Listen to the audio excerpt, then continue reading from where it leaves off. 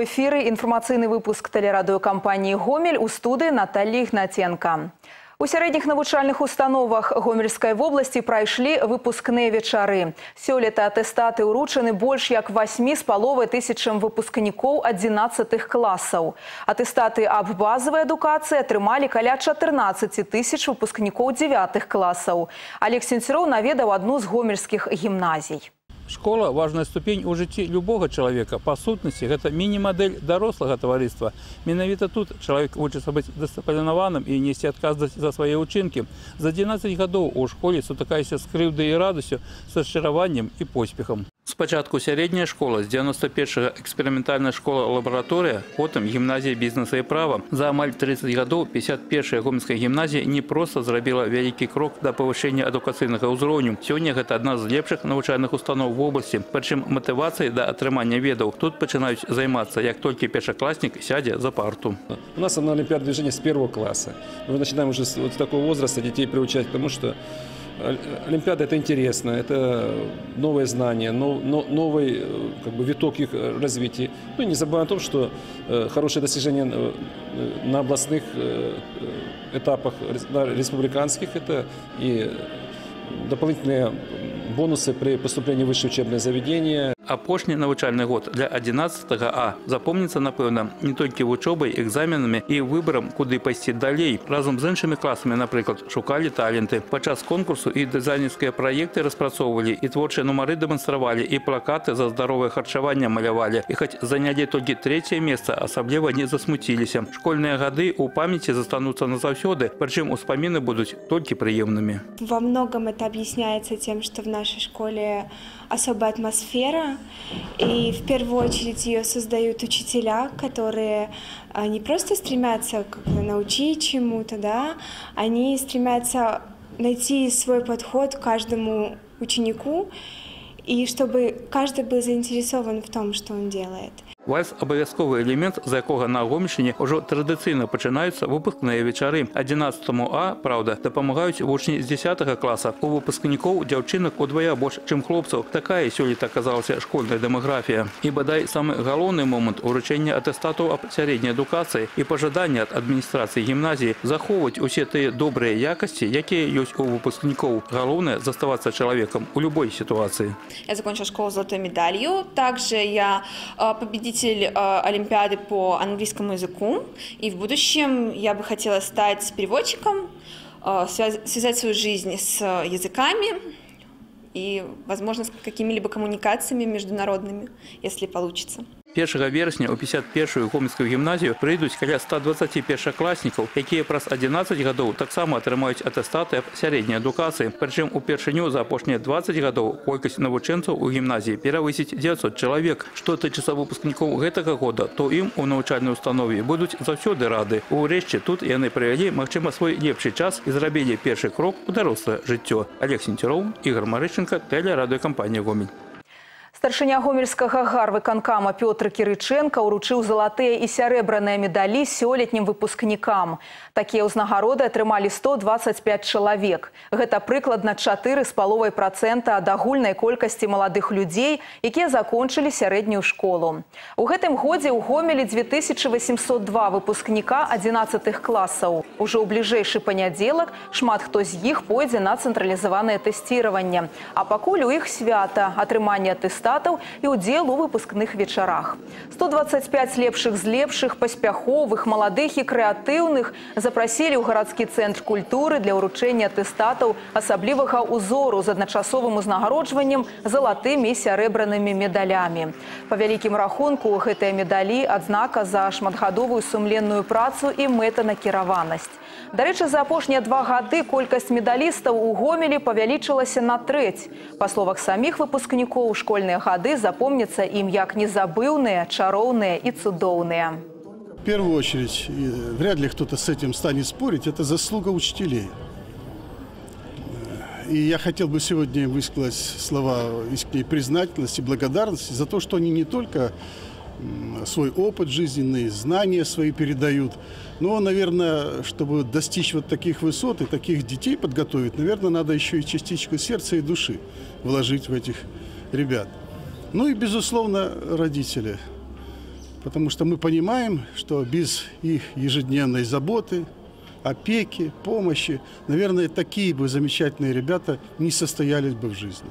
Поэтому я хотел бы сегодня всех поздравить, наших выпускников и медалистов, и не медалистов, вот с этими памятными запоминающимися на всю жизнь событиями, окончанием школы, получением аттестата, выпускными вечерами. Хочу пожелать, чтобы они в жизни выбрали правильный путь и им сопутствовала удача.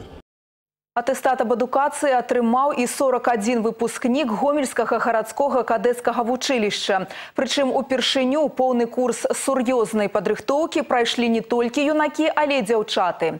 За час вучобы кадэты прайшлі не толькі ўвесь курс агульнаадукацыйнай праграмы, але спецыяльную фізічную, агнявую і страявую падрыхтоўку. Атрыманыя навыкі выпускнікі прадэманстравалі падчас першынства за Беларусь вучыць перамагаць і здачы іспытаў на аліўкавы берет. А пакуль для ўсіх бадай самы хвалюючы момант развітанне са сцягам вучылішча і праходжанне па плацу урачыстым маршам. Наперадзе дарослае жыццё. Дарэчы, 23 выпускнікі вырашылі звязаць свой далейшы лёс са служэннем айчыне, а таму не выключана, што некалі на сустрэчу ў гомель былыя кадэты прыйдуць у пагонах палкоўнікаў і генералаў. Практика показывает, что эти дети, они более подготовлены к жизни, к службе в органах внутренних дел и в целом во всех силовых структурах, вооруженных силах, чем те дети, которые э, не представляли себе изначально э, выбранного пути и не были знакомы хотя бы на первоначальном этапе с теми трудностями, которые им предстоят на службе в погонах. Ушанаванне пераможца областного конкурсу на лепшую арганізацыю ідэалагічнай работы ў працоўных калектывах і ўдасканальванне сістэмы кінавідэаабслугоўвання сельскага насельніцтва. У гомелі прайшла калегія галоўнага ўправлення ідэалагічнай работы, культуры і па справах моладзі. Нашы карэспандэнты даведаліся, аб чым ішла размова. У прадпрыемстве гомелькі на відэапракат кажуць, што абслугоўванне сельскага насельніцтва сярод прыярытэтных задач. Сёння на сельскую мясцовасць прыходзіцца практычна кожны трэці кінасеанс. Гэта не проста выкананне дзяржаўных стандартаў, але і аказанне платных паслуг. Сёлета, напрыклад, вяскоўцы за дэманстрацыю стужак і ўдзел у атракцыёнах заплацілі ўжо амаль паўмільярда рублёў. Разам з тым статыстыка сведчыць, нягледзячы на ўсе намаганні кінавідэапракатчыкаў, колькасць людзей, якія аддаюць перавагу сумеснаму прагляду фільмаў скарачаецца. Сёлета, напрыклад, гэтая лічба зменшылася недзе на 12 процентаў. Не только прапануемы рэпертуар быў дрэнны, але практычна ў кожнага зараз і тэлевізор з некалькімі дзесяткамі праграм і камп'ютар. Хоць менавіта інтэрнэт можа сітуацыю палепшыць, асабліва калі выкарыстоўваць яго мэтанакіравана і сістэмна. Сейчас реклама выходит за рамки афиш и бумажного формата.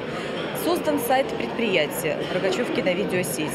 И благодаря этому реклама стала доступна. Стала доступна мобильная версия интернет-страницы. Э, Сельские жители могут знакомиться с новинками кино, могут знать анонсы фильмов, знать о планируемом репертуаре.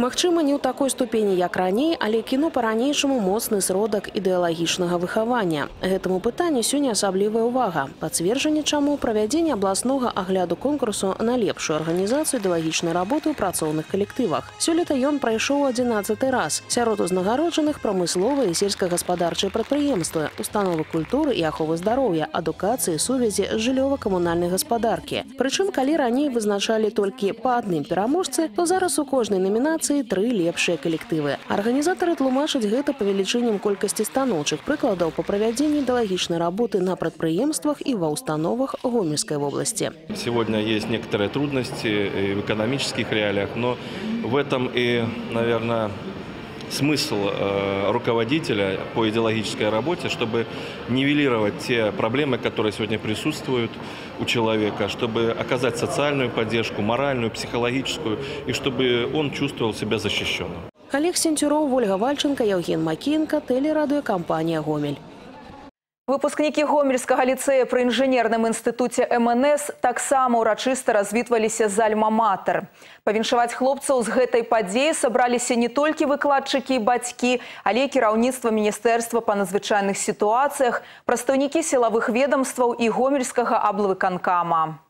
Цырымонія выпуску навучэнцаў ліцэя па-святочнаму прыгожая, па-вайсковаму строгая. Гэтага ўрачыстага моманту маладыя людзі чакалі 11 гадоў. Сёлета ліцэй заканчваюць 38 чалавек. Каб стаяць на гэтым пляцу ім прыйшлося ў свой час вытрымаць жорсткі конкурс пры паступленні і не зніжаць высокай планкі на працягу ўсёй вучобы. Установа поўнасцю сцвярджае высокае званне ліцэй. Адукацыя тут на высокім узроўні. Сёлета навучэнцы заваявалі некалькі прызавых месцаў на рэспубліканскіх і міжнародных прадметных алімпіядах. Плюс на іх ліку другая прыступка на міжнародным конкурсе па пажарна-выратавальным спорце і ўваход у тройку лідараў рэспубліканскіх хакейных спаборніцтваў «Залатая шайба». Да таго ж гады, праведзеныя ў гэтых стенах, навучылі хлопцаў адказнасці, патрыятызму і сяброўству. Это вот братство, это семья, чувство плеча товарища, потому что когда ты понимаешь, что э, 38 человек понимают тебя с полуслова, поддерживают. Традыцыйна большасць выпускнікоў ліцэя пасля яго заканчэння паступае калі не ў ВНУ міністэрства па надзвычайных сітуацыях, то ў іншыя сілавыя навучальныя установы. Навыкі, якія яны атрымліваюць падчас вучобы, ва ўступнай кампаніі даюць добрую перавагу сярод абітурыентаў. Это уже ребята готовые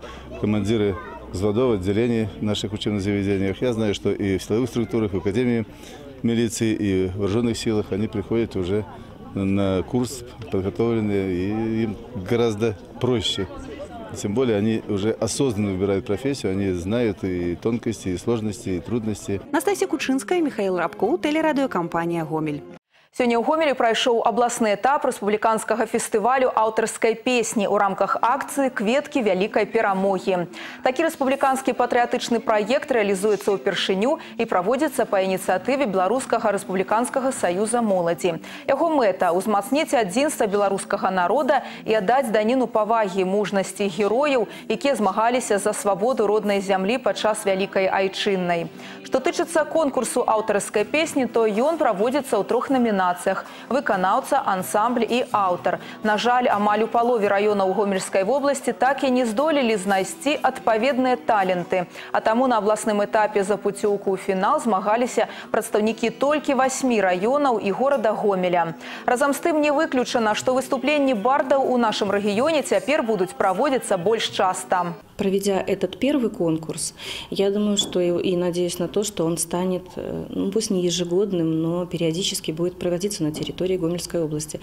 Это все-таки поддержка и талантливой молодежи. У карцінай галерэі Гаўрыла Вашчанкі адкрылася выстава жывых экзатычных птушак пад назвай свет вялікіх папугаяў. Гэты дзіўны маляўнічы куток абласнога цэнтра у дзяцей выклікае непадробную цікавасць і радасць. Для дарослых з'яўляецца своеасаблівым экзатычным рэлакс-памяшканнем. З першых хвілін знаходжання тут, у месцы поўным прыгожых птушыных спеваў і шчабятанняў атрымліваеш зарад станоўчай энергіі і добрага летняга настрою.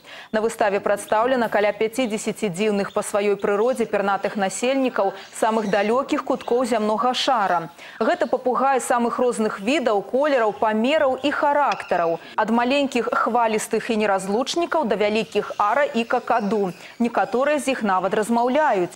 Дарэчы, робяць яны гэта досыць рэдка, аднак захопленых поглядаў з боку дзяцей і дарослых ад гэтага менш не становіцца. Да таго ж для юных наведвальнікаў гэтага унікальнага кутка дзікай прыроды прадугледжана і імправізаваная арт-зона з рознакаляровымі алоўкамі і размалёўкамі. Когда дети приходят и видят вот этих ярких и э, веселых птиц, э, им, может быть, э, хочется оставить это впечатление, оставить э, какие-то воспоминания, и у нас можно посмотреть на понравившуюся птичку и разукрасить, в общем-то, заготовленную разукрашку э, именно так, как ты только что видел вот эту яркую и красивую птицу. І гэта была апошняя інфармацыя нашага выпуску. У студыі працавала Наталлі Ігнаценка. Мы сочым з развіццём падзей у гомелі і ў вобласці. Заставайцеся з намі.